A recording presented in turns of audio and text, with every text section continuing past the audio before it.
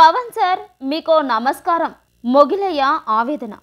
పవన్ కళ్యాణ్ నటించిన భీమ్లా నాయక్ రేపు రిలీజ్ కాబోతుంది. ఈ సందర్భంగా ఇరవై మూడున ప్రీ రిలీజ్ ఈవెంట్ను హైదరాబాద్లో నిర్వహించారు మంత్రులు.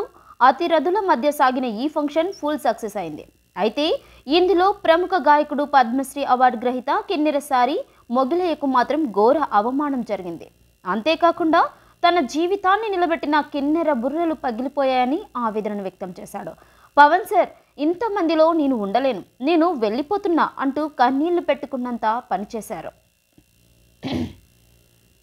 పవన్ కళ్యాణ్ సినిమా అంటే ఫ్యాన్స్ చేసే రచ్చ మామూలుగా ఉండదు. అయినా ప్రీ రిలీజ్ ఫంక్షన్ అంటే ఇంకా ఫుల్ ఎంజాయ్ చేస్తారు. సినిమా రిలీజ్కు రెండు రోజుల ముందు నిర్వహించిన ఈవెంట్కు పవన్తో పాటు మంత్రులు కేటీఆర్ తలసాని శ్రీనివాస యాదవ్తో పాటు సినీ ప్రముఖులు త్రివిక్రమ్ తమన్ హాజరయ్యారు. ఈవెంట్ సందర్భంగా తమన్ ఆధ్వర్యంలో భీమ్లా నాయక్ సాంగ్స్ వినిపించారు. అయితే భీమ్లా నాయక్ టైటిల్ సాంగ్లో మొదటి పల్లవి కిన్నెరసాని నాయకుడు మొగిలయ్యతో పాడించిన విషయం మన అందరికీ తెలిసిందే.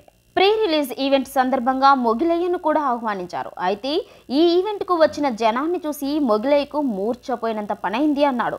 అయినా పవన్ కోసం స్టేజ్ పైకి ఎక్కి మొగిలయ్య పాటను పూర్తిగా చేయకుండానే వెనుతిరిగాడు అయితే ఈవెంట్ మాత్రం కొనసాగింది.